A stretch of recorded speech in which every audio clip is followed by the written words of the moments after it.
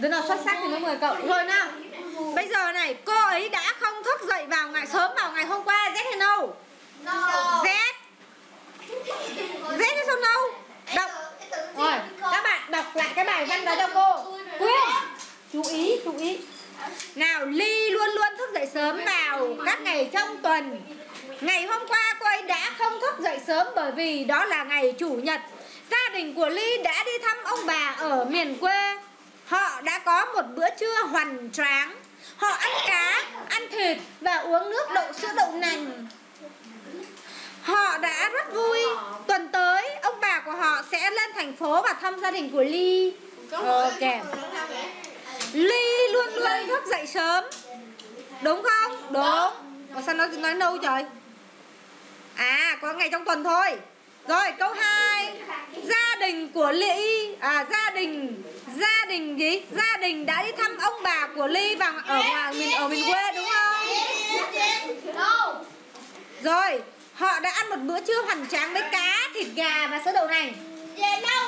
À họ không ăn thịt gà nha Vậy Ông Xuống đây Mình có Ủa Quyên Con làm bài chưa được con phải nghe chứ Quyên với là bạn Trúc với bạn Khang, Khang á, Phải nghe này Không được nói chuyện nữa.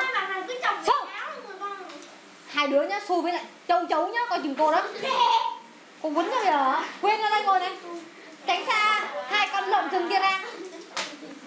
Rồi San Castro là gì?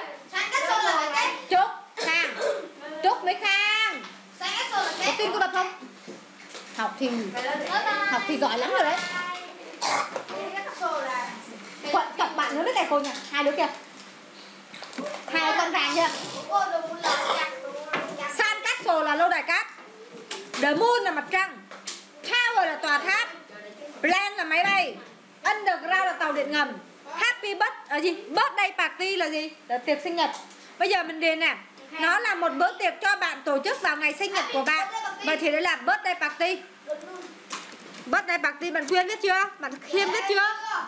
Khiêm Con biết chưa? Cái thằng đó nó y như cái thằng cu vậy đó Đấy, chị vô. Thôi im đi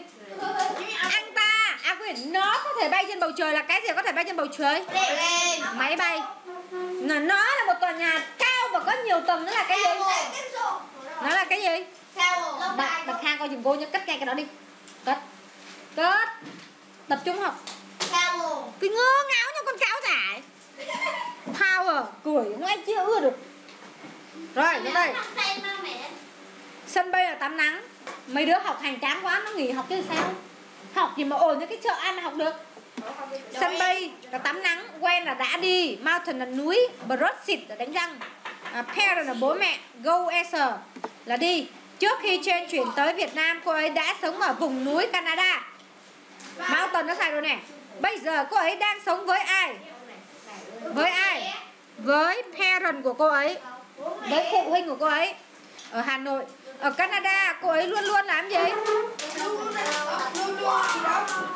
Ở Canada cô ấy luôn luôn đi học vào lúc 8 giờ 50 phút. Ủa đi học đi trễ cô? Ừ. Go.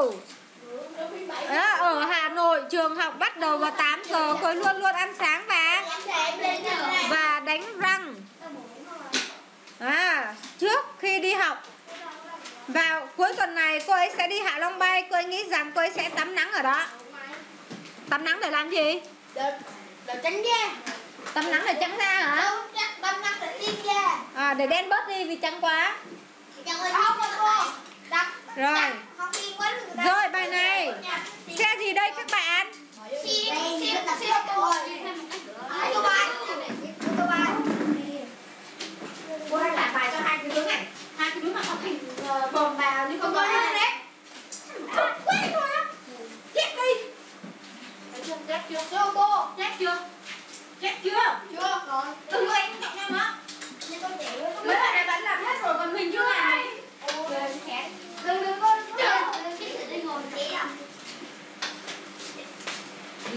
Bực mình Rồi. Mô tô gì viết đọc về. Mô tô bài. Trúc Câu 2 Bạn của tôi đi thư viện một lần một tuần Bởi vì nó tích có mỗi ngày thứ năm thôi. On care. Ok. Ủa cái này. One. Ok, one. Cô ấy sẽ bơi ở đâu? À, C.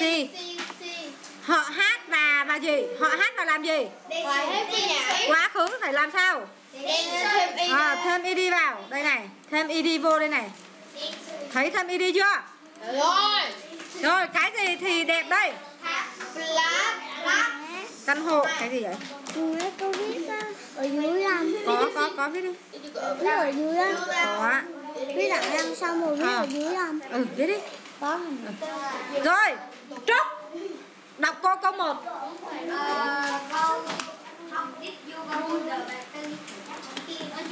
Rồi, did you? Did you? Bạn quên chắc cô. Did you go to the party? Chấm hỏi. Did you go to the party? Chấm hỏi. Câu 2, bạn Khang. Khang gửi đọc đây. Khang gửi đâu? Ai gì? Ai quen gì? Ai đe gì? Ba plane. Câu 3. Bạn Câu A, bạn Lê. À bài trên Đọc lại. Crowded. He live thêm sờ với cô.